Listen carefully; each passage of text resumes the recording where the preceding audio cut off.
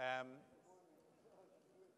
thank you, ladies and gentlemen, uh, Your Excellencies, uh, and uh, our hosts in Fujairah. Thank you for having us, um, and welcome to the Leadership Roundtable session on energy security, which I think we've heard probably mentioned a few times today, and um, uh, inevitably it has migrated to the top of many different agendas, uh, particularly in the context of the current uh, few months that we're passing through, whether it be uh, the Ukraine situation uh, and the passage of energy between Russia and Europe, or whether it be in northern Iraq, Syria, where a number of oil fields and production facilities have been taken into the hands of uh, an insurgency, or, may, by the way, in the context of this discussion, demand erosion and demand security, not just supply security, but China. China down to 7% uh, in the last quarter. Obviously, one would all agree, I think, that China demand has been the engine that propelled oil prices from 20 whatever dollars a barrel to $100 a barrel, China and the Asian demand story. So we've got two issues on both sides to discuss here today uh, supply security and demand security. Suppliers want demand security uh, uh, in order to expand capacity, and, and, and, and consumers want uh, supply security. And so there is the, the essence of our conversation. Uh, I'm honored to, to have join us today uh, a distinguished group uh, of, of, of, speakers, and I'd like to introduce from my left, uh, who has yet to join the conversation today, His Excellency uh, Naguib Aliyev, which as we come from this part of the world, we have to pronounce multiple different names all the time and quite often get them wrong. I'm generally known as Sean Evers, but my name is Sean Evers. So if I've done damage thank to your you so name, much, we can we can we can all My relate. name is Natig Aliyev. I am Minister of Azerbaijan. Uh, You give us the correct pronunciation.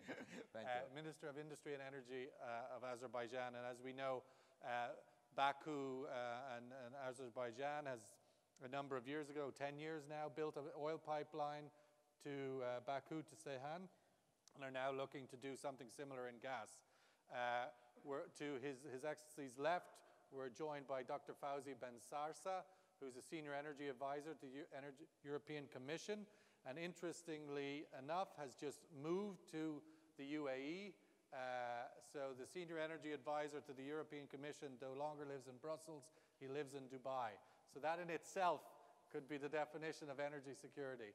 Uh, to his left, we're joined by Dr. Ali Akbar Safaei, the managing director and board member of the National Iranian Tanker Company. And for multiple reasons, it's wonderful to have the Iranian voice at this table, uh, and perhaps having two. Uh, uh, we've already been introduced to His Excellency uh, Adeli of the Gas Exporting Countries Forum. And we're also joined uh, for the first time this morning by Saeed Khoory, the CEO of ENOC uh, and a member of the Dubai Petroleum uh, Council, the Supreme Petroleum Council. And uh, in the context of Dubai, Dubai has uh, great concerns for energy security. As a resident of Dubai, it's certainly something I think that's at the forefront of even down to a, uh, a residential level. Um, so that is our, our, our, our plan, that's our program, and I would like to start with uh, Dr. Faouzi uh, giving us a, a sense of where European energy security is. Uh, what we heard a lot this morning, uh, His Excellency Adeli saying that there's no way you can divorce from Russia, you're locked in in a, in a, in a, in a permanent marriage, uh, and all of this verbal that we're hearing out of Brussels and elsewhere in Europe is simply decoration. What's your thoughts? What is the diversification of energy security in the EU? Well, thank you very much, uh, Sean. Sabah khair. Uh, good morning, my dear colleagues and friends. I mean, the, the, the, if, you, if you allow me, I will not be a diplomat because I think that this is what Sean would like, and Yeah. uh, he want, he want We left say the diplomacy at the door. The cameras are just there for purely decoration purely decoration. So the, the, the, the, issue of energy is becoming, uh, has been and is becoming on the top of the political agenda, as you have seen. Uh, and uh, it's, it's very interesting to notice uh, fundamental things. I mean, the EU, this animal of 500 million consumers, which is the, the biggest integrated market in the world, where you can have energy from uh, Portugal to Finland. This animal is surrounded by the biggest conflicts in the world. And this animal is surrounded by the biggest resources in the world. Geography is here.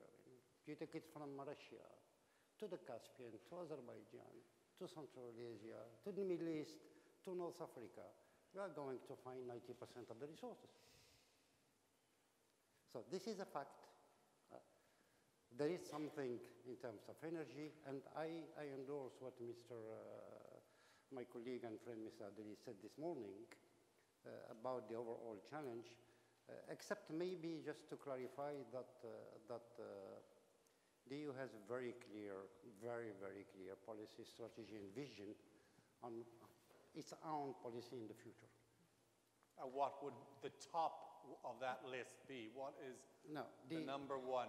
the, the, the number one, the, the, the EU has mainly three, three directions. And Three? question That's the EU, it's never one. It'll always be multiple. Always multiple. It's affordability, sustainability, and security of supply. Those are the three points. Your question, Sean, is very clear this morning. Are we going to divorce with Ukraine? Are we going to divorce with Russia? I mean, this is a nonsense. This is a nonsense because geography is there and you are not going to change geography. Russia is the biggest energy in the world, being it in oil, in gas, in uranium, in nuclear. We have relations in the gas sector since more than 30 years. Okay? Ukraine, it's not coming from today. We had the gas crisis in 2006, 2007. We had the gas crisis with Belarus in 2008. We have a gas crisis, a tremendous gas crisis in 2009. And today, what's happening in Europe, in Ukraine, I would say is a consequence of a political problem. And it's not an energy problem. Well, clearly, it's a political problem. I don't think So- there's any doubt so about we that. have to put But it it is an energy problem in the context that it is one single route. And that is an energy problem as compared to a poli- Any country would want to diversify, regardless of the politics, away from a single source. there is a very serious gas problem. I mean, Ukraine, Russia is supplying more than 40% of the European Union gas on the top of Norway and Algeria. Uh, Ukraine, uh, Ukraine is transiting something like 140 billion cubic meters. It has the biggest storage capacities in the world. Uh, and what people doesn't know that the EU is hostage of a conflict between two external partners. There are no commercial relations between EU and Ukraine. There are commercial relations between Ukraine and Russia. There are commercial relations between EU and Russia.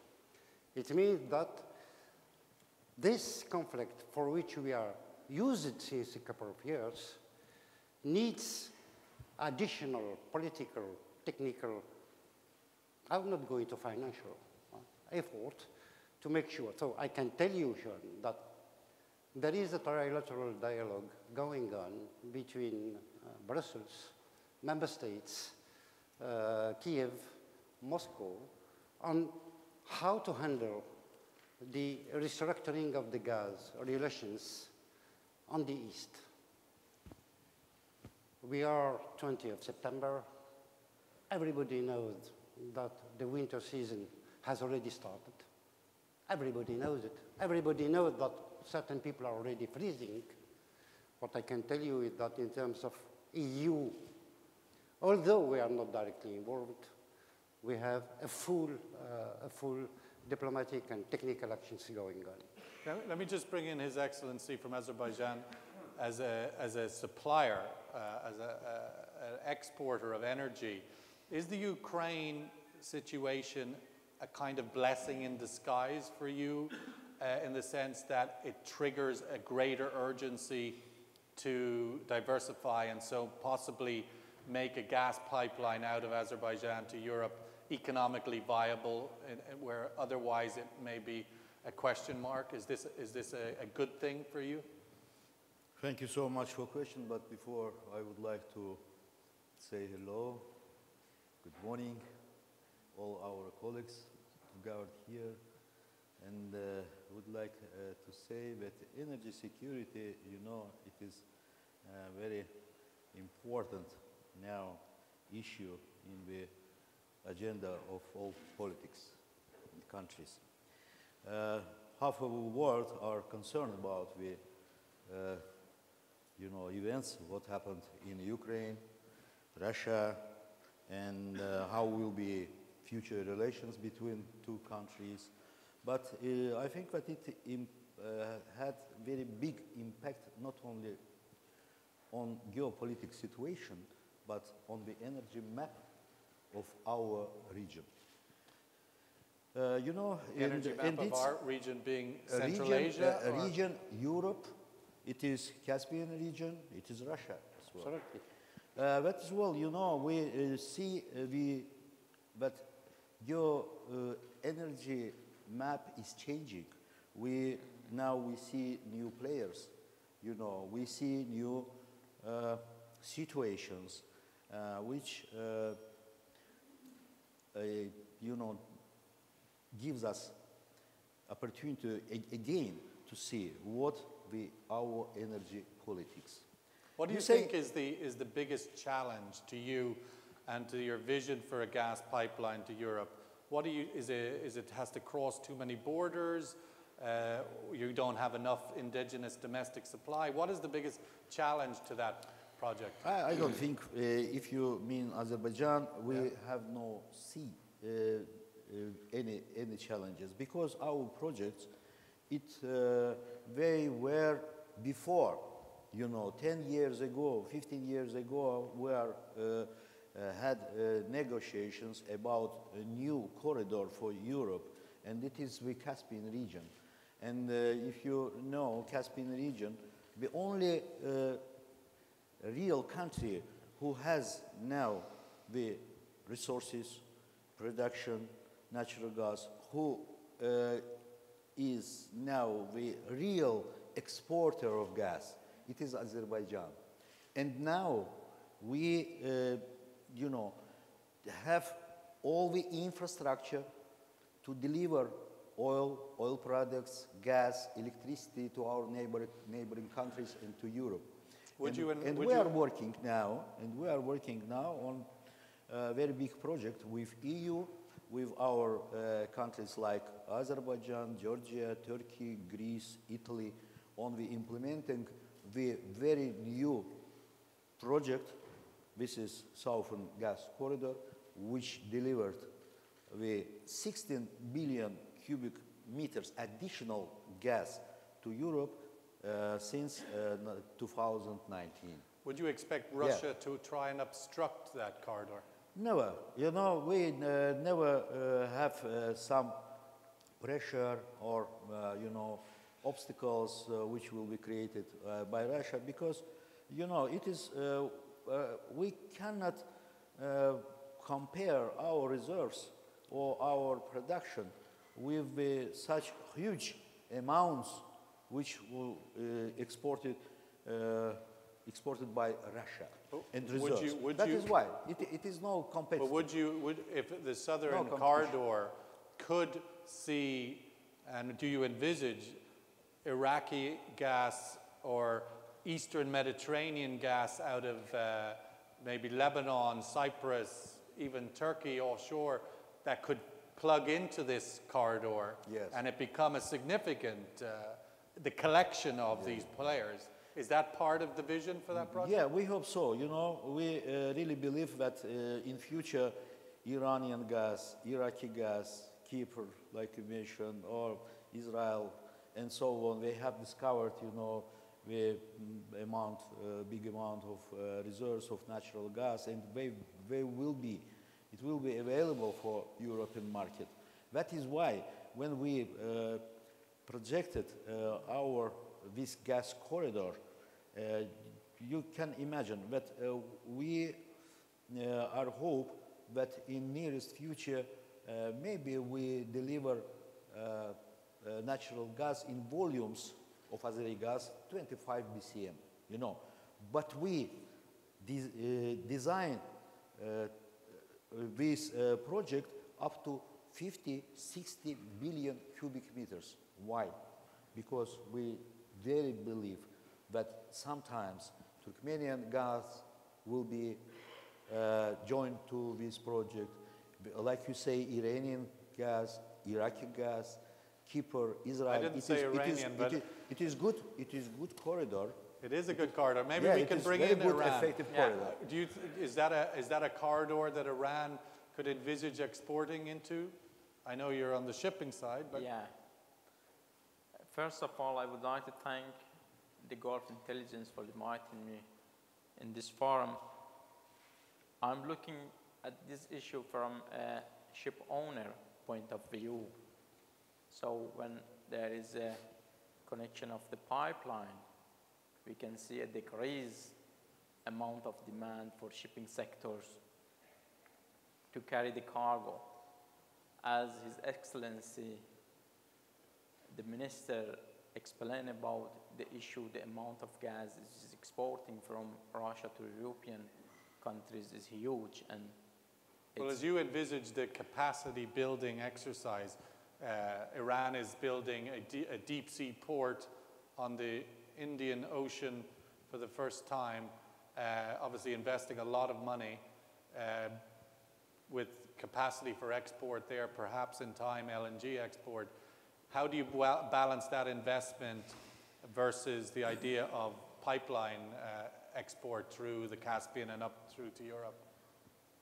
Actually, to go in, in that question, I can, and can say that uh, always there is a controversial issue debating on the advantage of the shipping versus the pipeline.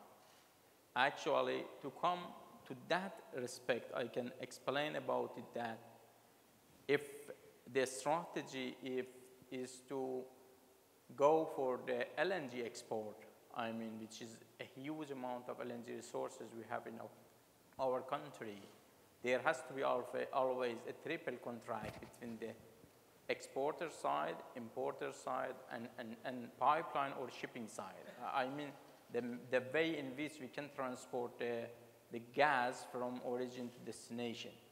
In that respect, we have experienced some negotiation and some contract between some countries in previous years to export, uh, invest at first for LNG production side, and then to export LNG from Iran to other countries.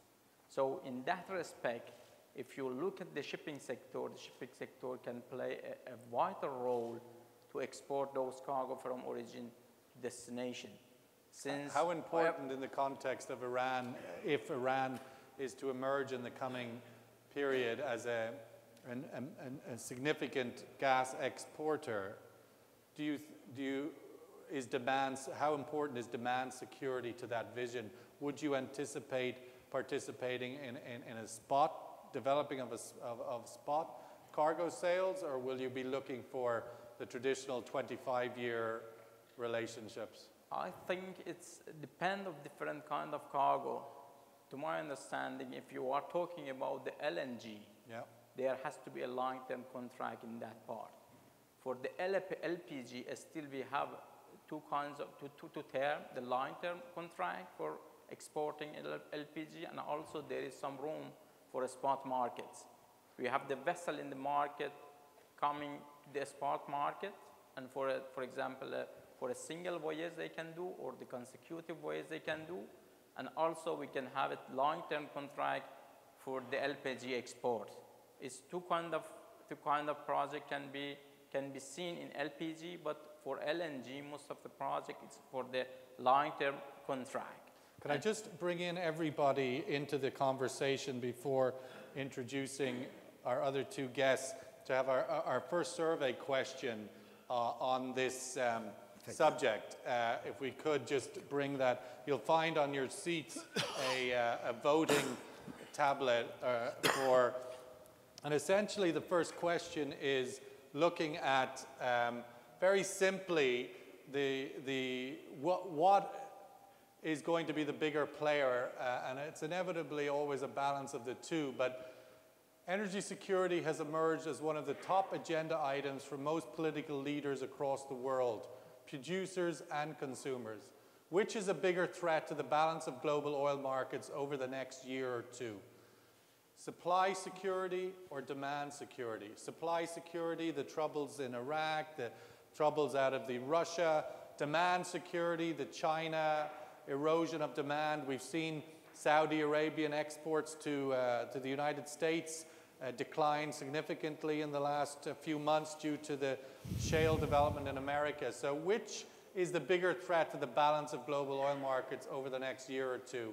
A or B? 10 seconds, please.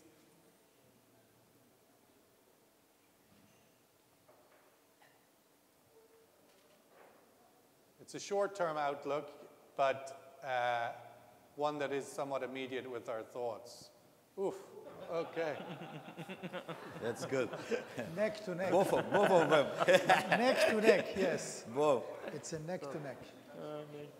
Exactly. That, that's the, nearly like the Scottish election results, uh, which is, is interesting. I, I, I want to introduce uh, Saeed uh, of Dubai, um, a, a, a city and an emirate in which uh, demand security or su- su- energy security is a vital issue. And the UAE and Dubai are doing a lot of fairly significant steps in order to tackle that. Can you maybe just outline uh, some of your plans?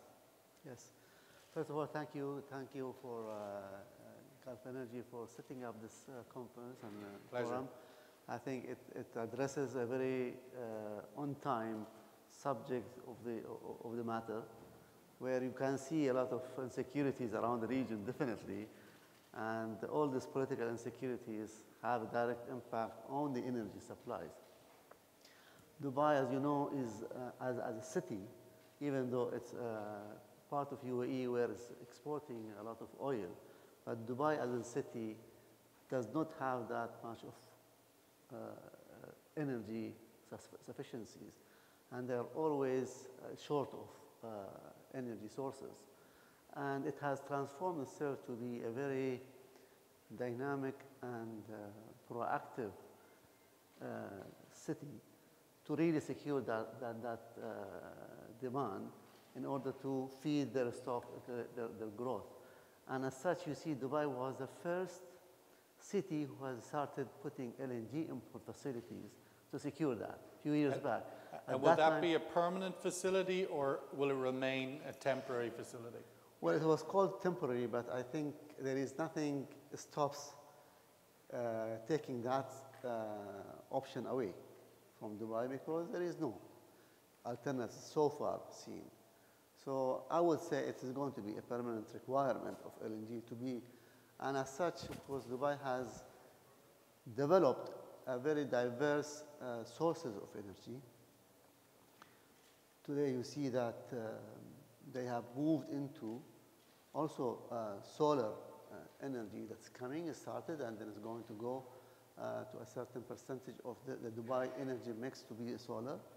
Definitely the LNG role is going to be more. So they have uh, noticed that there is going to be the, the existing facilities could be replaced with bigger facilities to secure more. Would you envisage uh, a, a support of the LNG uh, regasification plant in Fujairah and that being a supply into Dubai, or would you envisage Dubai having its own? Well, Dubai it has its own, but whether that is enough or not, of course, the uh, Fujairah LNG facilities will add a lot of value also, not only to Dubai, but to the whole UAE. So that will be definitely an important uh, energy mix and uh, energy addition to UAE requirement. As you know, recently also, Dubai has, uh, is in the verge of uh, floating a tender for uh, coal energy which is going to be also in the long term about 3,000 uh, uh, megawatts uh, addition to the energy requirement of Dubai. And ag- 3,000 megawatts. in two stages. The first stage, the first tender is going to go 1.2 million, billion, uh, million megawatt. I mean, one, one to 1.2 million megawatt. When will the final decision on green lighting that project go ahead? Well, I think it's, it's already started because they have finished the pre-qualification of the bidders, and I, very soon they are going to issue the tender for the bidders to quote for that. Uh, that is something again. So that's a, that's a done deal. It's It going is to a done deal. It is a done deal, definitely. It is going to be part of their energy mix of Dubai uh, for the future by 2030. There are going to be a certain percentage of uh, energy coming from coal. So th- this is where I think the, the mixture of energy strategy of Dubai is, is coming out. Of course, definitely, as you know, Abu Dhabi is building also nuclear power plants, and part of that power plant could be coming also to Dubai. So looking at the How, security, how big a threat is uh, consumption for Dubai and the UAE's energy security if you don't get consumption under control? Well, we are trying to get consumption under control, and this is another, another issue that becomes a very uh, important issue, actually, not only for Dubai, but for the whole region. We have uh, managed to change a little bit the subsidy issue that is being done and which is going to affect, or is affecting a lot of the demand cycle in the region actually, where recently we have, uh, for example, in, for power, today Dubai becomes a, a, the, most expensive maybe uh, power pricing in the region, in addition to the petrol, of course, but even though it's subsidized, but uh, the, the, definitely the demand control of it is, has to be done with the, with the subsidy that is being done. I think even not only Dubai, but the region, if they can manage some sort of uh, uh, control on that uh, subsidy, definitely that will add a lot of value to, to the demand. Can uh, you get to a sustainable position on energy security without controlling consumption? Personally, I think no. I think uh, if you don't control the subsidy and the, consumption, then definitely that is a, an- an open-ended demand. You have seen in the last few years uh, the growth of the demand is tremendous, whether it's in fuel or in energy, basically because of the subsidy. Today, people, for example, and sometimes uh, in Dubai, uh, a portion of the, of the population was taking water, for example, as free. So you could have seen that uh, people were just washing their cars and so on with hoses of water, and a lot of waste has been done. As soon as the government has put some uh, fees on that water, uh, a lot of uh, control has been done to that.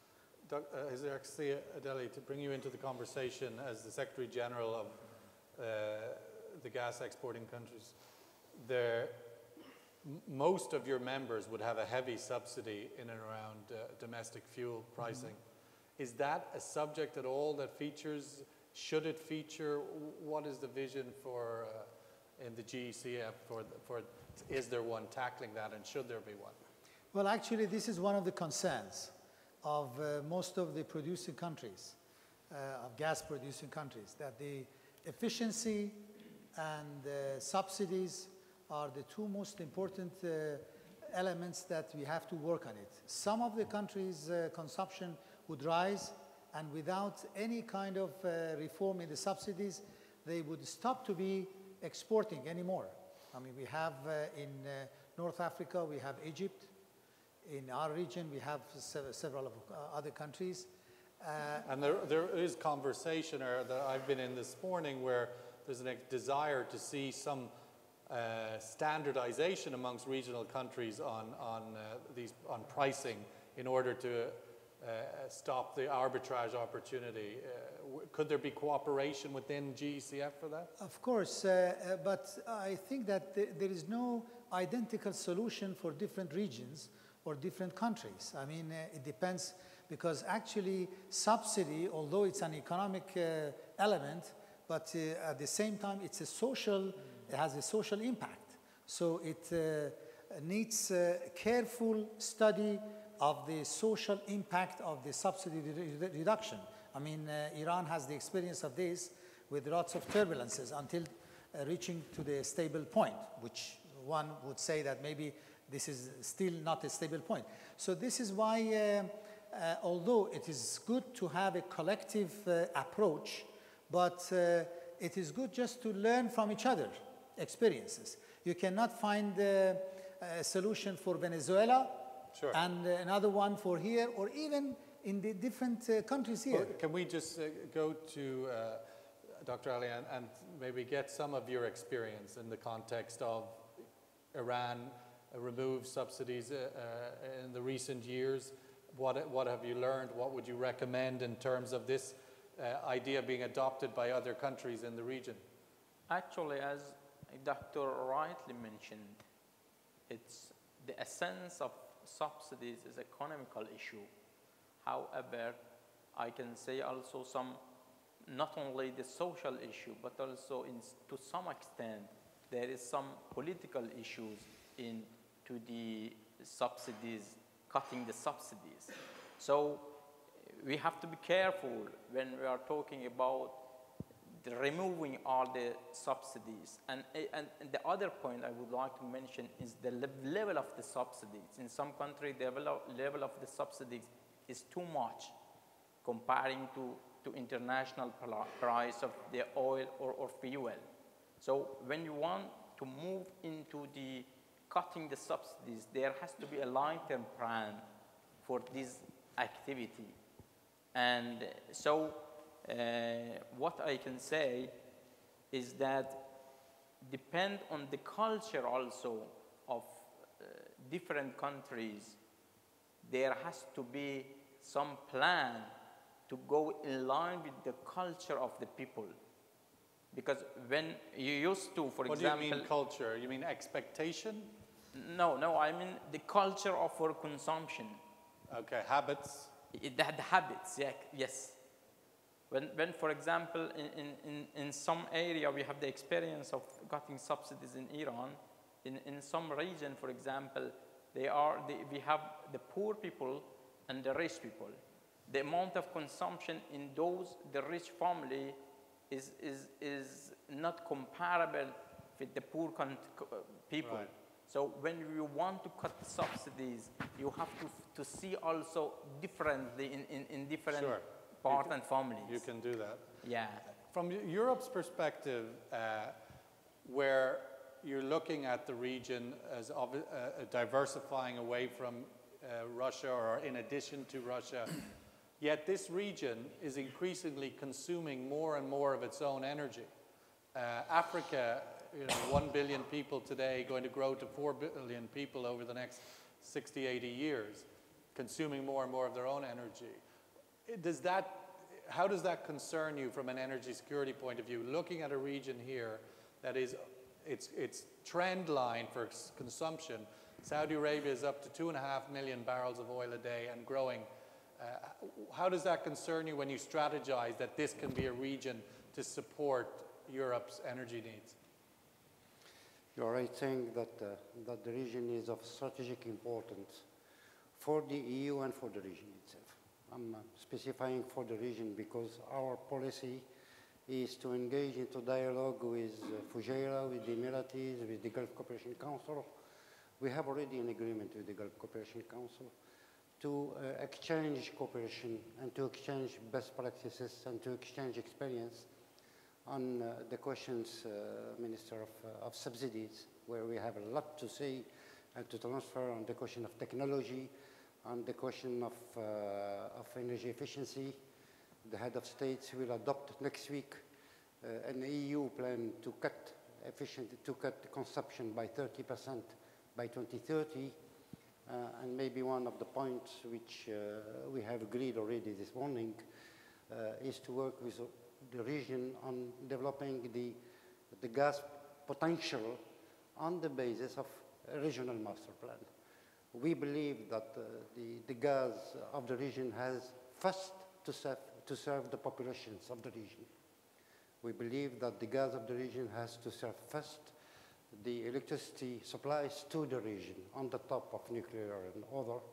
Well, we have UAE exporting LNG to Japan. uh, And uh, we will be very happy tomorrow with Natig. Uh, we have a part- strategic partnership since uh, several years to work together on pipeline interconnections, being it through Turkey to the Balkans whatsoever. But I mean, we is, a Eu- is Europe, do you think, ready to put the, uh, not only the political muscle maybe that would require that southern corridor to emerge, but also the security muscle?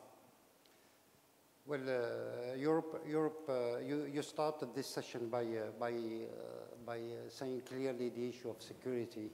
Uh, so I want to be into a long, long discussion on what is Ukraine, but uh, I can tell you that in terms of security, uh, the EU is, uh, is having uh, the overall caution on the top. So uh, But they're we are not, they're yet, they're not increasing their defense budgets in any way. Well, the, the, uh, Sean, let's, uh, I said we are not diplomats. The, the, what's happening on the East has an economic impact. Yes.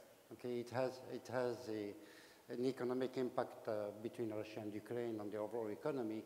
However, it's recovering. However, it's, uh, we hope uh, for uh, very quick uh, solutions.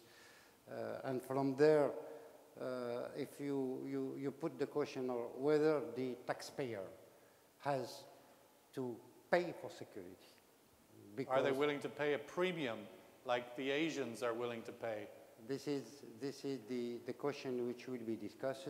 What I can tell you is that when it comes to the internal market, already the cross-border interconnections are to be considered in the future uh, into a very specific new financial facility which is called interconnect, which will help. For the external part, discussions are going on how to help the diversification process on the top of what's happening already. Your Excellency, I'd like you to, to just think about the question of whether Europe should be paying Azerbaijan a premium for your gas. I'd be, just take the next survey question, if we would, up on the board. Um, in light of the Ukraine crisis, the EU is seeking to diversify its gas sources away from Russia to enhance energy security. Who will be the EU's biggest supplier of natural gas in 2020? Uh, all the usual suspects. Please uh, pick up your, your, your uh, clicker and uh, give us a vote for 10 seconds. US, Russia, MENA, Azerbaijan, and Central Asia. Shale gas from within the EU, right under Birmingham. Uh, so, MENA, Russia, US. Will the US become the main supplier? Oh, I better vote. Oh my gosh. Yeah, Pretty, that's true. the status quo. Who will be the EU's biggest supplier of natural gas in 2020? So the infrastructure is there inevitably. 2020 is only around the corner. But if we had said 2030, would that have made the vote any difference in terms of uh, Azerbaijan's outlook? Would you expect and should Europe expect and be ready to pay a premium for the security of supply in the way that the Asians do? You know, again, I would like to say that this is where most players uh, in, in the European market, and I think uh, that Azerbaijan or Cent- in Central Asia will be uh, very useful uh, for Europe. And uh, I mean, 27% is a big number. I, I would, yes, I think I- so. You should Yeah. be encouraged. Yes. You should Every- start every- digging every- that everybody, pipeline. thank you, colleagues. You believe in Azerbaijan and Central Asia, and I think so that uh, in maybe in 2020 uh, we will uh, play very important role, but not so big role, you know, in the. uh, 220 is a bit oil early, supply. perhaps. But uh, I think that in 2030 or maybe beyond, you know, it will uh, be Azerbaijan and Central Asia, and not only uh, Azerbaijan, Central Asia, because we mentioned that it is Iran, Iraqi, Iraqi gas, it is uh, gas uh, from maybe in other regions. They make the, uh, you know, the most share on the energy security of Europe. That is why we just will just wait how the geopolitics will change. Uh, what, uh, like we said, how the, this region, who now uh, in our vision is very perspective, how they develop their uh, resources. But it is depend from, in our hand, it is depends from investment. Capital. How, how, how you, uh, you know, continue to invest a lot of money Huge to money. discover, yes, right, to discover new fields, to develop the uh, gas uh, fields. How you uh, just uh, uh, develop uh, your infrastructure because it depends, uh, you know, not only for uh, how, how much you uh, produce, but how you, by the reliable, uh, you know, direction, you can to deliver natural gas to, to market. That is why it's a lot of, a lot of factors. Let's open the floor to anybody who would like to uh, make a comment or a question. Uh, please put up your hand. There's microphones wandering. Uh, we have uh, in the front row here, please. Uh, and can we also bring up the next question in the survey, please? Thank you very much. Uh, my question actually to Captain Ali, I have opportunity to meet him in the Majlis, and uh, I just want to know more about the, the- their, their shipping fleet, your shipping fleet. Uh, as you know now, LNG, crude, chemicals. Uh, what is the percentage that you're carrying compared to the to the other uh, shipping line? Uh, this one question. And the second question also, uh, last year, uh, if you remember, we have very, very good interview with uh, Shahristani Yeah. about the shale gas and uh, what he's mentioned that is uh, during that is uh, the, the, the, the problem that Iraq is having, Iran is going to supply some gas to uh, the country, To Iraq. to Iraq. So I don't know if there is any changes happening, changing the political situation now in the country, and how much and when they're going to start. Thank you. Okay, the first question What is the profile of your fleet and what will it be in five or ten years? Actually, for the needs of our country, we have expanded our fleet to a number which could support the export of oil from our country to other countries in the world, particularly in the Asia. The composition of the fleet, we have diverse the composition of the fleet, not only in the oil but also in the gas and the field of cargo which is required for transportation.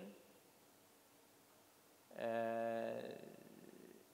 as everybody, I think, which are in this room involved in the gas and oil in, or in general in, in energy sectors, you are aware of the freight rate of the shipping transportation has dramatically fallen comparing to, for example, 2008.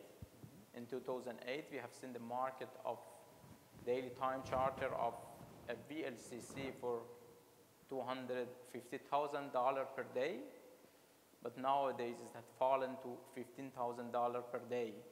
Yes. It's a little bit increasing, particularly from the starting year of 2014. It's going up little by little. So is this an indication that you're not going to invest in new fleet because the price is low? Actually, it Well, depends. Just firstly, what is the fleet? Can we just get that question?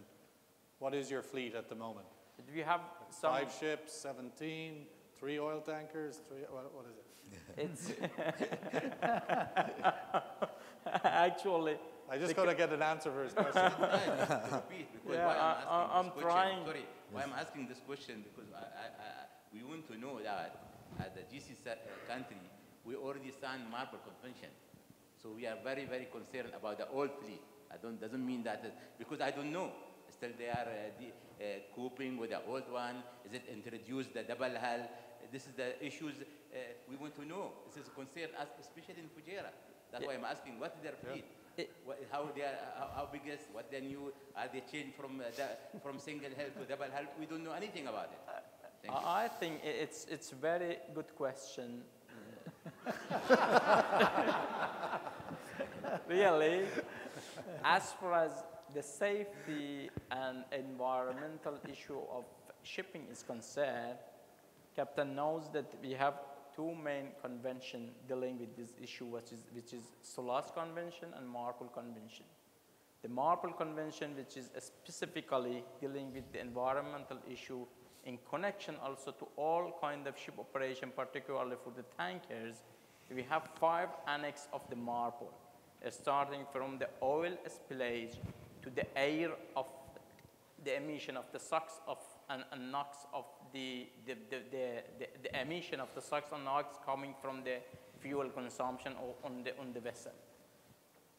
To my understanding, all the annexes and the main convention has been ratified not only by the government of the Islamic Republic of Iran, but also by the, par- the parliament, and it is entered into force from the IMO, and it is implemented in our countries and enforced also in our countries. Therefore, go to we this- have to be, excuse me, we have Yeah. to be kept in comply with the regulations. If we don't comply with the regulation, we cannot do the international voyage. Even also, we have the concept of flag state control in our country, which inspect all the vessel. And the vessel, when the vessel is coming to other countries, we have the concept of port state control, which control the vessel in the view of the safety, security, and environmental issue. If, and, and if the vessel in one certification is not going to comply with the regulation, the vessel has to be out of service. So your fleet It's is very clear. compliant to international standards? Sure, sure. And the and the- second question vis-à-vis export of gas from Iran to Iraq, do you have any update on that? Do you expect that to? One other point also I, I would like to mention in that question is, is, is very important is that when, when a fleet you are operating, the age of the fleet is very crucial. Mm-hmm. And the concept of double hull tankers nowadays has come to the end. By the end of, by the end of 2014, we should not have any single hull tanker in the world to operate n- not only more than 500 GT, but also in my country, according to the uh, parliament approval, we cannot have also less than 500 GT single hull tankers operating in the internal, internal water or territorial waters. Okay. Is So- there any other questions? Uh, Yeah, one behind and one here in the front. So uh, we'll just take this gentleman and then this gentleman, please. Yes, please go ahead. Okay, go for it. Yeah. If you just introduce yourself. Yeah, Faiz Majzoub, Emirates LNG. I have one uh, question and one comment. Start with your comment and then do your comments, question. uh, subsidiary, you can say oil and gas. Gas is difficult because of the heating, weather condition. In Iran, you can put, uh, lift up prices during the winter because maybe You're talking, sorry, subsidy. subsidy. Subsidy. For sorry. oil, I think Just hold the microphone. For oil, when you compare subsidized $50 subsidized versus international market 100, 115, this is can be controlled, I think, for gasoline and diesel for driving. Regarding the, the question regarding Before you go to your question, Emirates LNG is going to import gas Yes. into the UAE. Yes. At what price point and how will that impact the local price point for gas? Well, I think the, most of it will goes to the utility, the power utility, the But you will have to buy it at international At market rate. international market, uh, the prices maybe by 2018, we see a lot of uh, projects coming, shale gas, uh, shale LNG project, Australian project, Canadian project, East African. So Would- we Would you, would you expect to pay Asian prices for LNG? maybe mixed oil index exposed because all the region exposed to oil, alternative diesel, and uh, will be maybe hub, Henry hub part, oil part. And you'll We- sell it to the, the utilities at, It's a government. uh, Government price, It's yeah. government. so your question? The question, the impact of uh, Russia, China, LNG uh, or pipeline gas project, how much will impact the future supply to Europe and the, for also the Chinese LNG import in the future? Okay. Anybody in particular? No, it's not my question. Mr. Ad- Your As- Yes, the impact of the Russia-China deal. You know, the impact of the Russia-China deal for Russia would be minimal in terms of its exports to other places because this uh, gas is going to be extracted from the East Siberian reservoirs. It is not going to affect the reservoirs of, uh, in the West and the West Siberian, which uh, is uh, intended for the European consumption. So uh, in terms of uh, Russia, there is going to be no, uh, uh, uh, no major impact. But in terms of uh, China, China, of course, the LNG import of China would be reduced. There is no question for that. And China would be importing, I mean, this pipeline gas. So in terms of demand for, from, from China would be less, but of course it would be compensated by the current political crisis that is going on as uh, it's called the uh, smog crisis that is uh, forcing the Chinese to uh, consume more gas in, instead of coal. Plus, they're still growing at 7%, so you would imagine Yes. that demand for Yes. imported gas will continue to grow. Yeah, continue to grow. But, uh, but still, I mean, if they are supplied with the pipeline gas, it would uh, uh, offset uh, the demand for the LNG. Right. Thank you. Um, Please, you wanted to come in? You have a mic. It's No, just, just, just very simply to say that we are absolutely uh, not concerned by this issue. We do believe that the EU has a right to diversify, and Russia has a right to diversify. So we hope very much that the uh, Middle East gas will welcome to the EU to compensate. Sorry, there was a question in the front Yes, row. uh, Thank you very introduce much, and my please. compliments to the event and uh, speakers today. Shukran. Uh, My name is Sharif. Uh, uh, You were talking, most of you talking today about the supply and demand and security. I don't know if my question relevant or not, but can you, can any of you please elaborate on the legislation and the upcoming demands on the green energy and other regulations, how much that could be effective and could be uh, importance to the pricing of the energy. I mean, the, the, the raising voice of having, you know, green energy, especially by 2000, 2020, airlines using certain type of fuel. Maybe bring in, Saeed, in terms of the context of Dubai, the, the global reality is that governments have signed up to international treaties that limits carbon, that would keep something in the region of 80% of known hydrocarbons in the ground.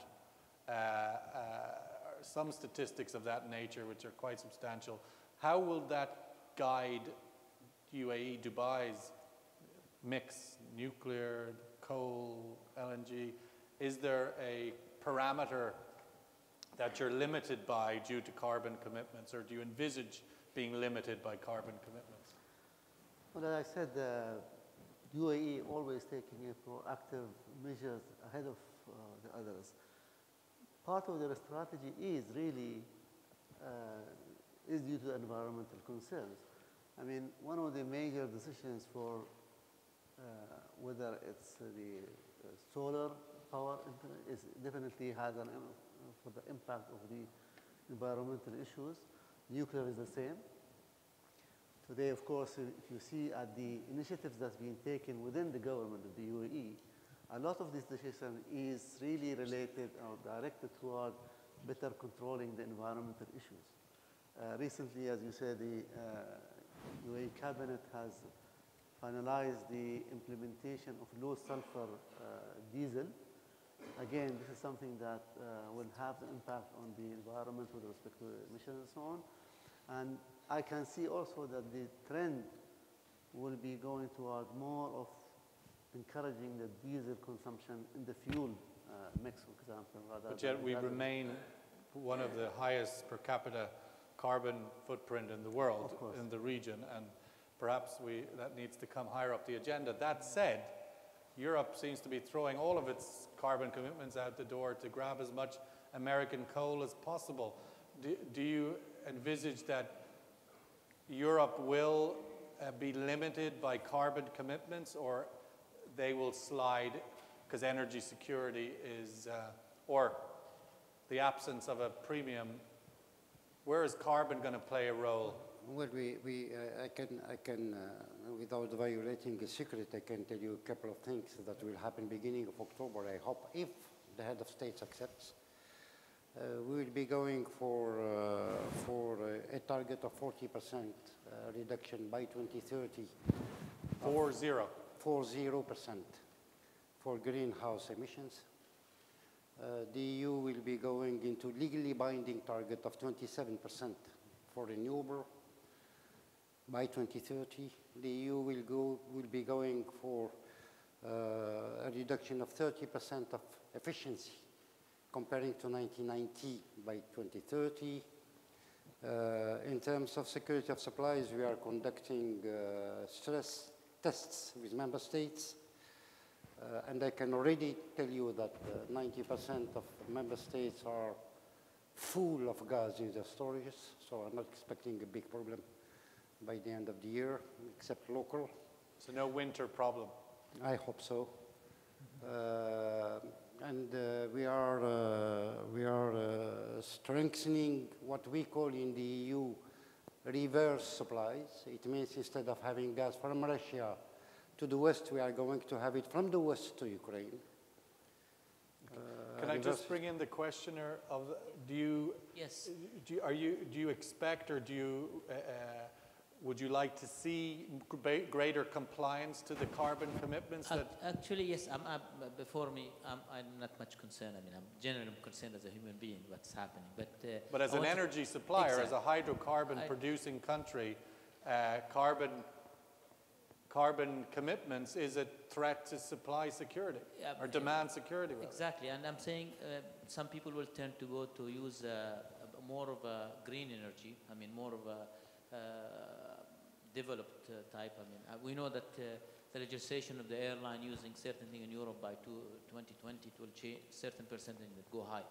That will leave a different type of oil or different fuel in a cheaper quality, more available. I'm just saying, what percentage the legislation uh, has impact on the pricing beside the security, beside the stability of the market, as well as we have another competitor, which is of course we're talking renewable resources, which is that always has been a complement, I mean not even a compliment, just a by side, but I feel the environmental impact an issue. How much can it be important to this? Well, I, I would be of the view personally that I think it's probably much greater than we're paying attention to that carbon commitments today.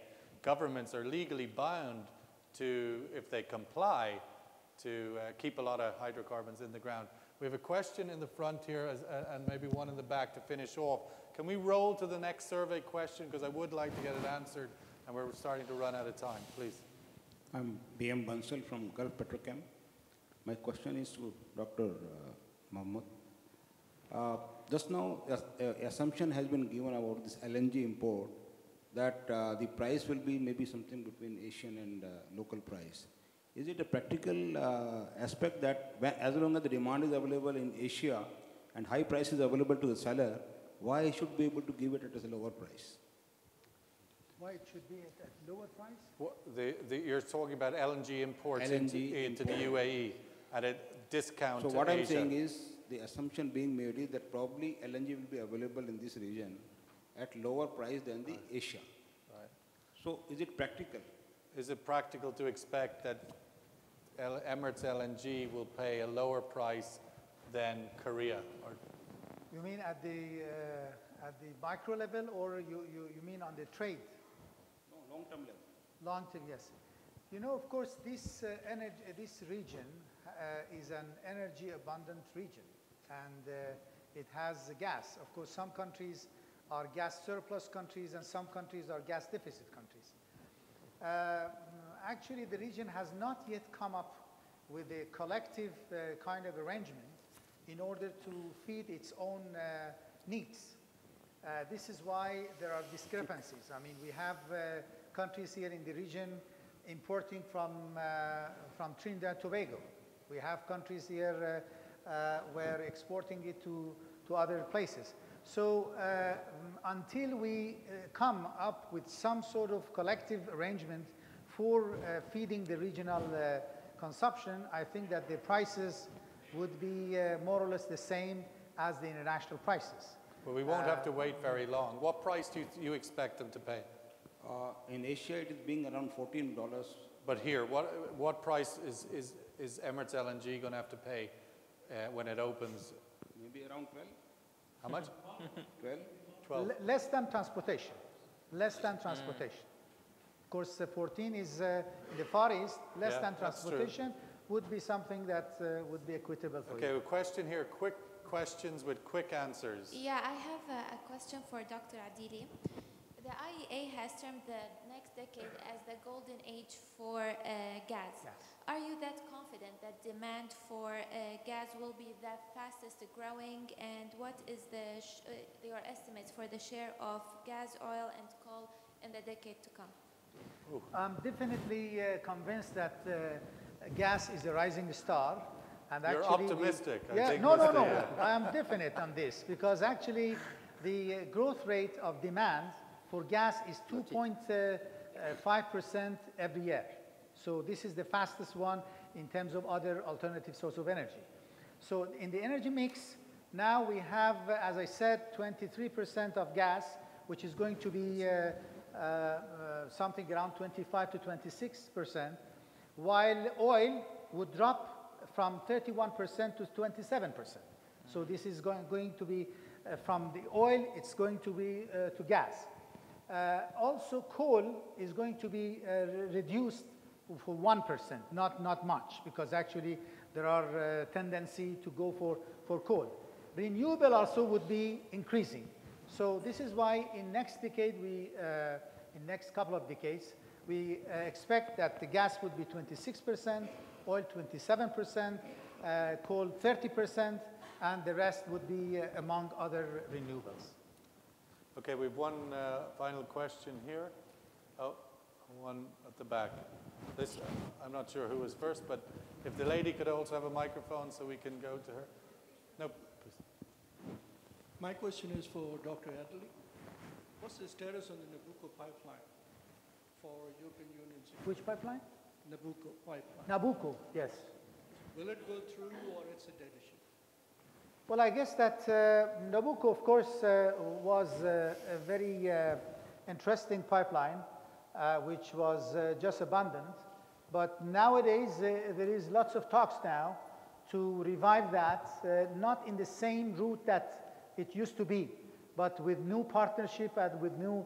So there are, there are lots of talks about that Nabucco and uh, having some feed from, uh, from Iran, from Azerbaijan, and the, and the Caspian Sea. You want to comment on that question? Just to complement that, uh, if you have additional gas, we will be very welcome to revive Nabucco. Yes, right. So, The main problem is resources. The last word at the back. I just wanted to ask a clarifying question. Could you We- introduce yourself? My name is Sophia Kalantzakos. I'm a professor at New York University, and I'm here in Abu Dhabi. Um, I Or just wanted, Fujairah? Yes. uh, I wanted to ask, um, no, in Abu Yeah, yeah. NYU is in Abu Dhabi. I know where I am. Yes, yes, yes. Um, so my question is, we talk about the increase of coal usage in the European Union, but there is political uh, will to, as we saw, reduce the um, greenhouse gas emissions.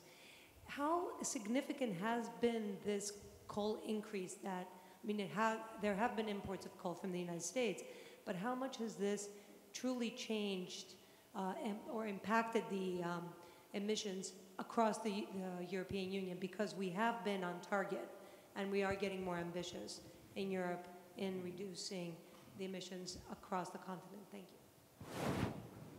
Anybody? Carbon emissions, coal imports into Europe? Coal. Uh, there, there, there has been some, uh, some change in the energy mix. Uh, you, know, you know, there is a thing which I would like to clarify here. The, the, the energy sector in the EU is managed by the private companies. It's not managed by the EU. Uh, and this re reminds also that in the region here, we're very welcome if the kind of reforms allowing the private sector to play its role. Uh, now, when it comes to the coal itself, uh, we are referring to the problems of the, the ETS market and the problem of the import of coal that took place uh, since the problem between uh, Russia and Ukraine. Um, the, the, the expectations that the head of states will be discussing next week is to revive the overall carbon print and to implement specific financial mechanisms for this subject, but please don't ask me to tell you more uh, now because uh, they have to decide first. Do you have a, a view on coal imports into Europe, what that outlook might be? Do you expect it to grow? Chris Bake, Vittel? Longer term, no. I, I mean, I, right now there's a huge pricing advantage to coal, which is being exploited, and also uh, a big effort to build gas inventories in Europe ahead of possible problems this winter. So that's probably the two key drivers short term. Longer term, I expect the uh, environmental concerns to prevail. Okay, wonderful. Can we just wrap up with sort of answering the survey questions? If we could just drill through them very fast. 10 seconds on this one. Take the clock, please.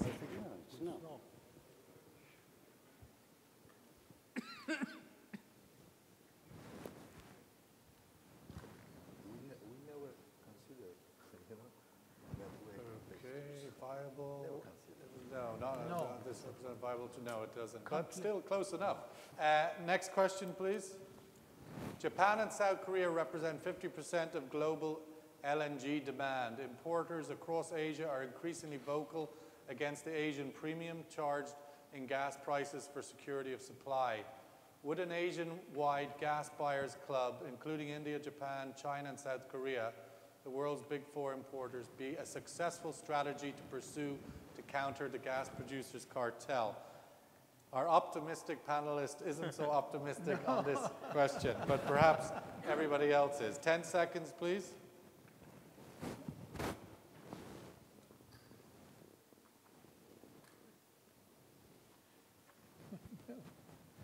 This is new.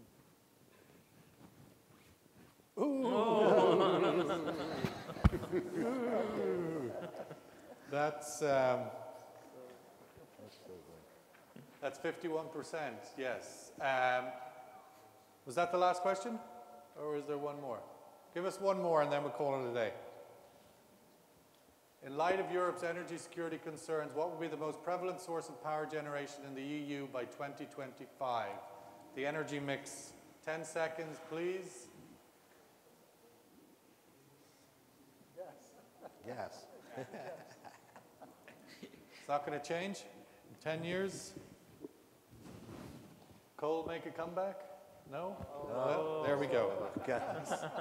Gas, gas, gas. It's been a gassy kind of day. Um, Yeah. It's time for lunch. I'd like to thank our panelists, His Excellency Natig Aliyev from Azerbaijan. Thank you. Fau- Dr. Faouzi Bensarsa from the European Commission. Dr. Ali Akbar Al Safaei from Iran, thank you for coming across. You're welcome. Saeed Khoory, CEO of ENOC, thank you for your participation. His Excellency Adeli, thank you for your time, and thank you, the audience, for your you. participation. And we'll thank you